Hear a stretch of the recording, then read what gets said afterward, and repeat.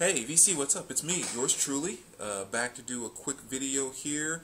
Um, album of the week time. I'm kind of a day late again, but uh, I want to make sure I still stay on track here.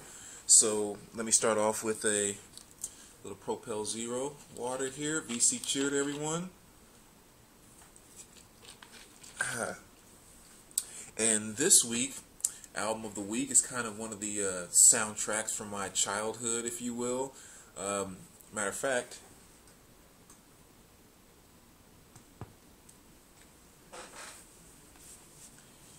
it is the one and only Twisted Sister Stay Hungry. Man, talk about an album that just kind of slipped my mind. I pulled this out the other day and listened to the whole thing from front to back, and I was just like, wow, how the memory started a flowing, boy.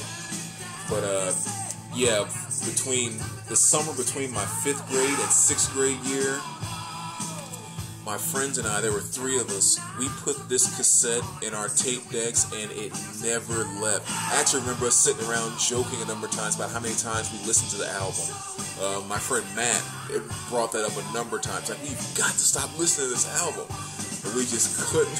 it was just, I don't know, it, it hit us that summer but a really, really good album. I mean, most people, most of you know the song, you know, We're Not Gonna Take It, as well as this one, I Wanna Rock. But uh, there are definitely a lot of good, I guess, B-side tracks on this. I love every single song on the album.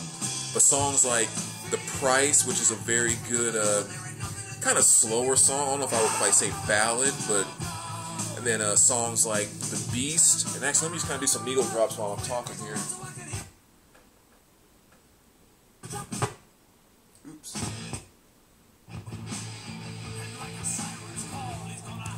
Okay, just kind of skip around a little bit while I'm doing this.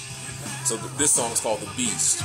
Um, but and then you also have stuff like "Burn in Hell," which, if you remember, uh, Pee Wee Herman's Big Adventure, when he was on the lot being chased by all those people, uh, Twisted Sister kind of had a cameo in that when they were pretending like they were filming a video for uh, "Burn" the song "Burn in Hell."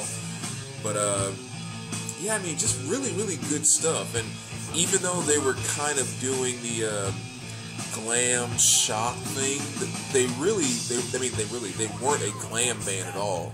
Uh, I've always considered them a hard rock band. Um, I mean, not even like metal or anything, but they really, really were just like a, a hard rock band. Um, and I don't know, I mean, I, I, just, I love them to death, and this album is just one that has been seared into me, and I don't, I don't know if I'll ever be able to get rid of it. So, uh, yeah, if you've never heard Twisted Sister Stay Hungry, make sure you check it out. Again, my, my grade school anthem right there. Great, great album. So, uh, I'm going to leave you with a needle drop of the song The Price, which is definitely a very, very good track on here. And as always, let me know what you guys think, and uh, we'll see you soon, VC.